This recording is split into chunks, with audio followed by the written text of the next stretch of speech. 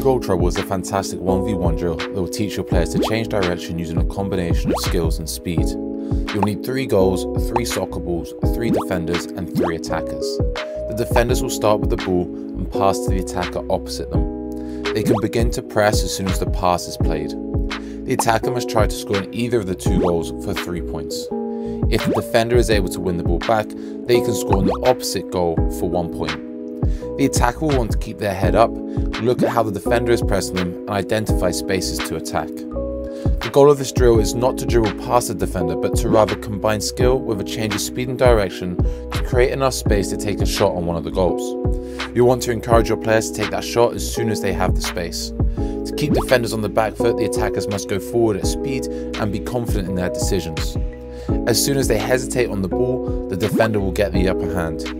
In game-like scenarios, these goals could represent teammates that they will be passing to. Make sure to swap the roles so both teams have had a chance to defend and attack, with the team scoring the most points winning. This 1v1 drill is the progression you should use next for your teams. Like, subscribe, peace.